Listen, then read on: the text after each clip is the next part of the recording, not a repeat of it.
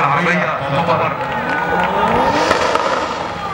نسبيا جوه ال box موضوع مش سهل بس عبده بيعمل ال order بشكل كويس وبيخلص ال track بتاعه.